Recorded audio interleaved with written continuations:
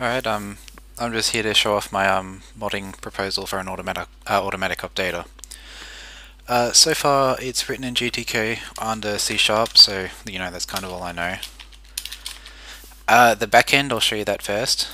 Basically there's a repo name and a URL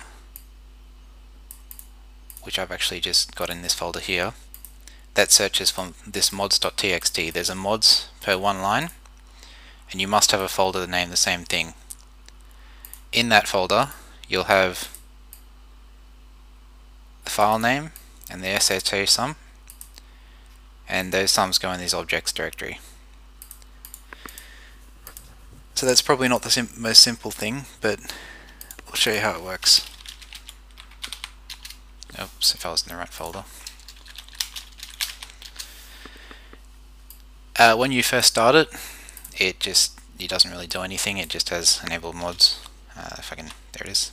So you have to update the repo list. If I go update mod list it's not going to do anything because I haven't selected a repo. So that enables that repo. Go to mods update mod list.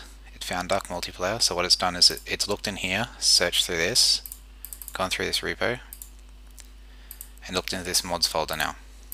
So enable the mod go update mods all mods updated. Oh, what it's done, sorry, is it put it in there. So that's it, it's, it's already downloaded it and got it. I'll show you that again. So get rid of that. Update mods. Bang.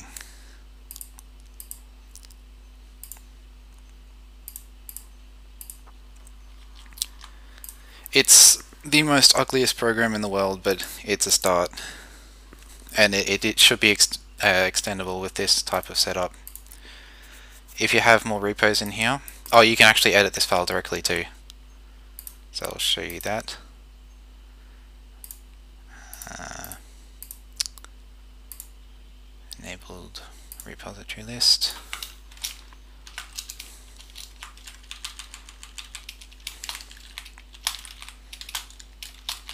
Actually, I think spaces will be supported. Why not?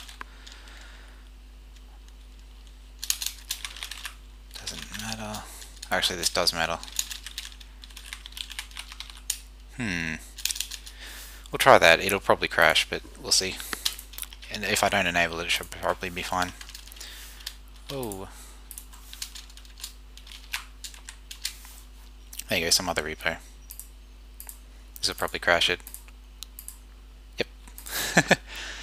but anyway, yeah, it's a simple proposal. It should work, mostly. Uh, the only thing is, is that you have to have a repo kind of set up to the correct. Uh, where are we? KSP repo. You have to kind of have a repo set up with this. Um, uh, it, it's also dependent on a metadata file, but you can edit that locally. But you definitely need this mods.txt, and for every single mod line, you need to have a folder with index.txt listing the objects, which is in the objects folder. Anyway, that's all. Um, it's a proposal, uh, proposal, but it's, you know, it, it could do with some editing.